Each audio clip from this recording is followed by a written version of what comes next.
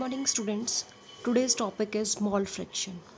Mole fraction is denoted by zeta. What do you mean by mole fraction? Mole fraction means the ratio of number of moles of one component to the total number of moles of all the components present in the solution. Suppose there are two component a and b a having 2 moles b having 3 moles. So how will you calculate the mole fraction? Then mole fraction of a component that is equal to number of moles of a component divided by total number of component. Here two components are present so uh, number of moles of a plus number of moles of b. It means na divided by na plus nb how will you calculate the mole fraction. Uh, it is na is equal to 2 and total is 5 2 plus 3 5 now same as we calculate the mole fraction of component b is equal to nb number of moles of b component divided by total number of moles of component. That is 3 3 by 2 plus 3 that is 5 or you can say that the mole fraction of A plus the mole fraction of B that is equal to 1. So in a binary solution having only two component so the mole fraction of uh, all the component that is equal to 1.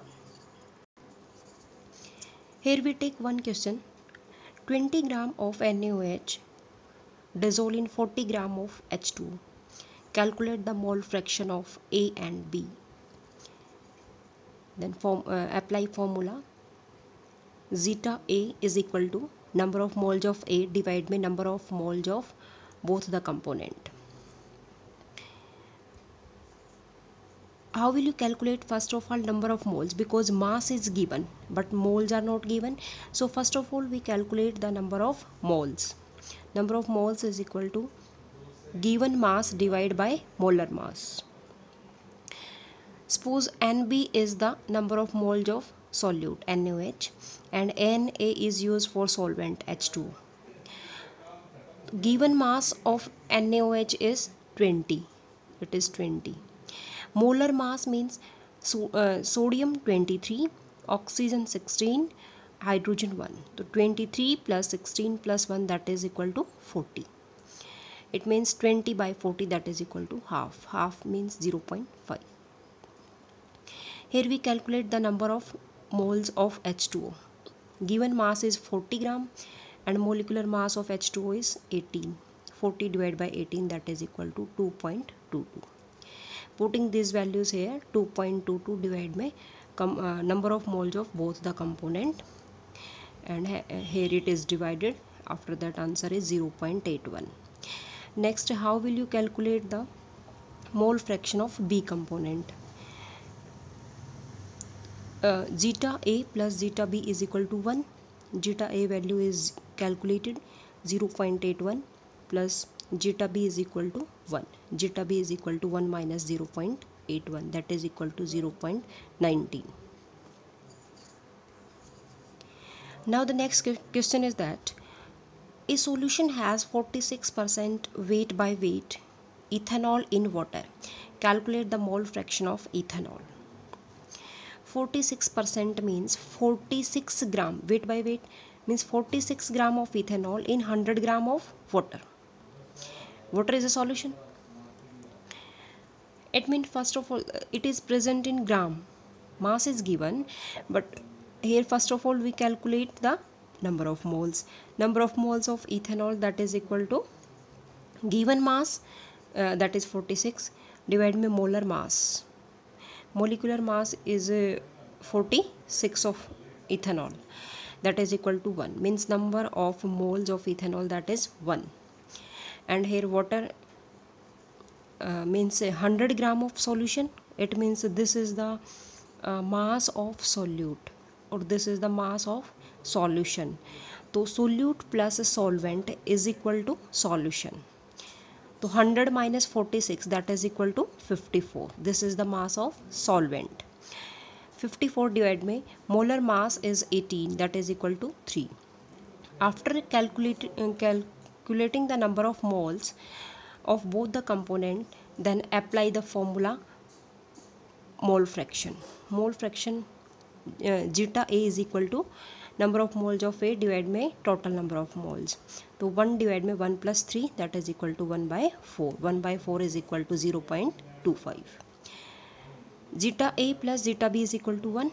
Here zeta A calculated that is 0 0.25 plus zeta B is equal to 1. Zeta B is equal to 1 minus 0 0.25 that is equal to 0 0.75. Now the next is ppm ppm means parts per million. Million means 10 is to power 6 means 10 lakh. It is present in a very small quantity. Ppm is equal to number of parts of the component divided by total number of parts of all the component of the solution.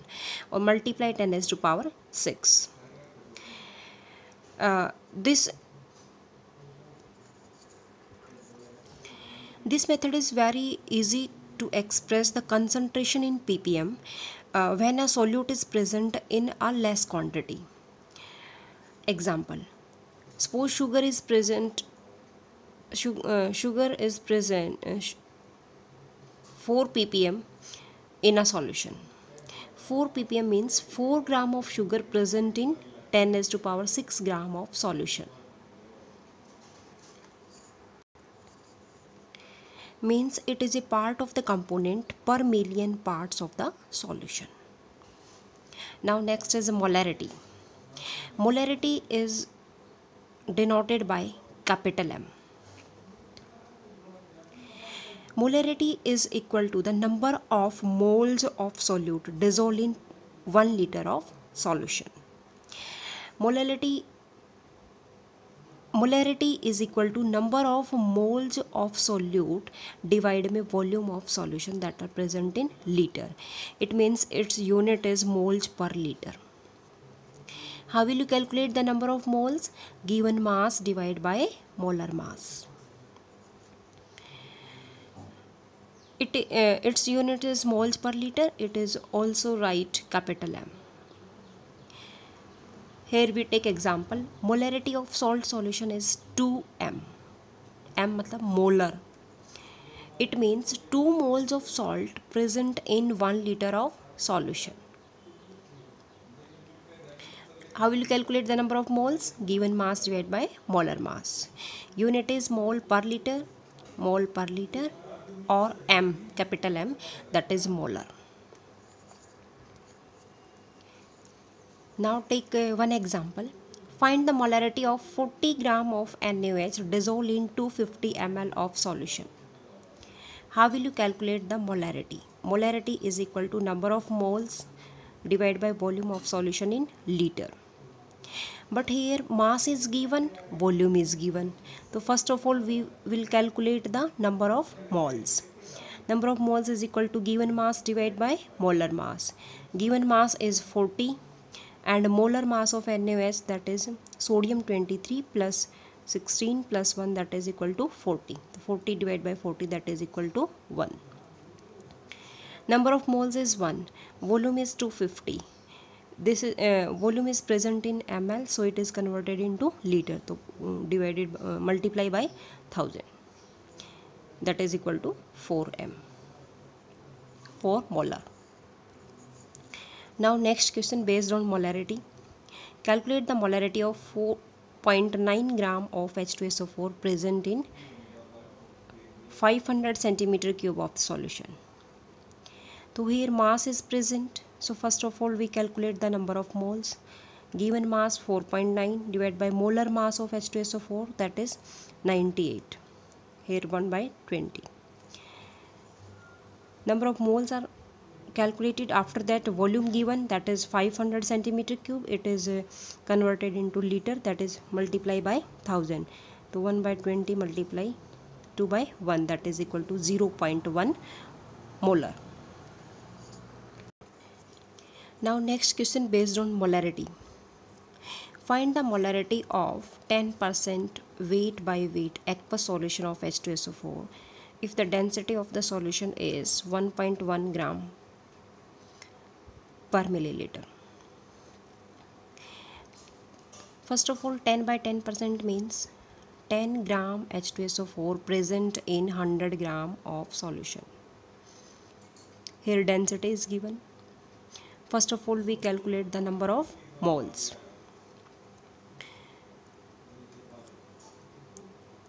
number of moles mass is given 10 gram given mass 10 gram molar mass of H2SO4 that is 98 but here volume is not given.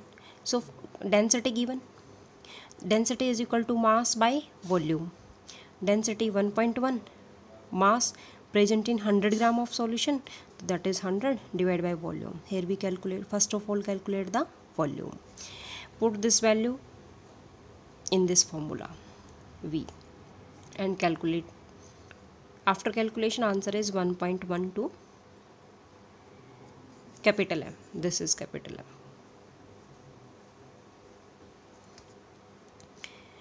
Now next is next question is find the molarity of water. If density is 1 gram per ml is given. Consider 100 ml of solution. Mass of H2 is uh, how we'll calculate the mass of uh, H2 means solution. Mass is equal to density into volume. So density given 1 volume that is 100 ml it means uh, molarity is equal to number of moles divided by volume that is equal to 100 divided by 18 18 is the mol, uh, molar mass of water. Next volume. Volume that is 100 ml ml it is converted into liter. Then 1000 divided by 18 that is 55.5 molar capital M. Now one more question based on uh, molarity. Molarity changes with the change in temperature.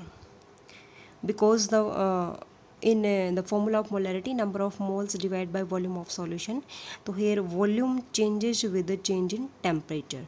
So molarity changes with the change in temperature. Now next topic is molality. Molality is denoted by small m. Molal. Molality is equal to number of moles of solute present in 1 kg of the solvent. Here we use solvent not solution. Means mass of solvent in kg. It units is moles per kg or molar. Molarity is independent of temperature because it does not depend on the volume of solution. Uh, it depends only on mass. So it does not change with the temperature so we can say that molality is independent of temperature. Now first of all calculate the number of moles. Number of moles is equal to the given mass divided by molar mass. Question is that find the molality of 20 gram of NaOH dissolved in 100 gram of solution. Molality is equal to number of moles divided by mass of solvent. Uh, 20 gram means mass given divided by molar mass of NaOH that is 40 mass of solvent is not given. First of all calculate the mass of solvent. Means solution mass is 100 solute is 20 so 100 minus 20 that is 80 80 is the mass of solvent divided by 1000 so 2 by 4 multiply 1000 by sorry 100 by 8 that is 25 by 4 6.25 molar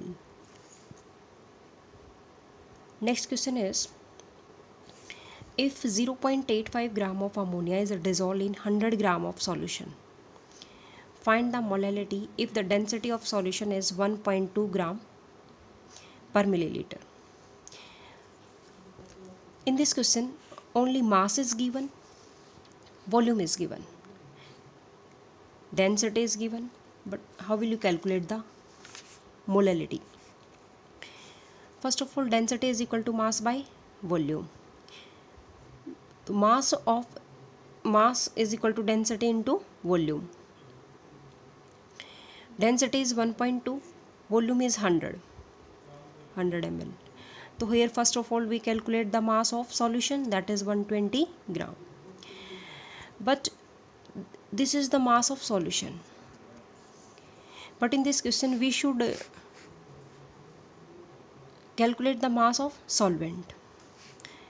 How will you calculate? The mass of solution is equal to mass of uh, solute plus mass of solvent.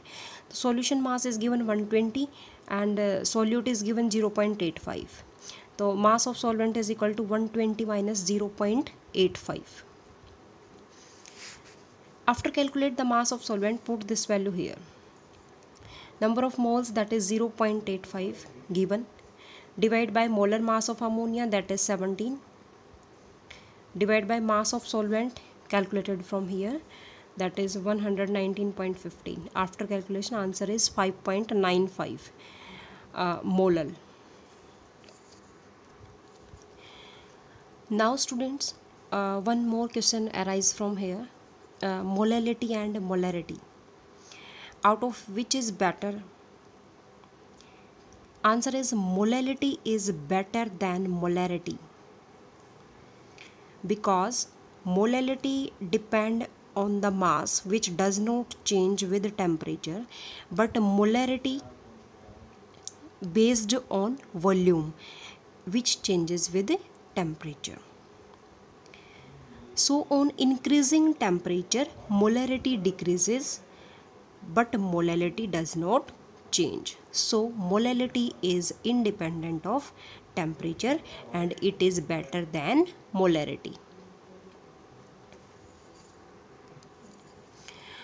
uh, now next uh, some concentration terms which are independent of temperatures that are uh, mass percentage and mole fraction these are the two important concentration terms which are independent of temperature. And mole fraction has no unit means it is unitless quantity. Thank you students